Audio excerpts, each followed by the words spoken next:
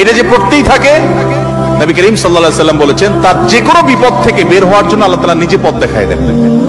এমন ভাবে পথ দেখাবেন সে কল্পনাও করবে না।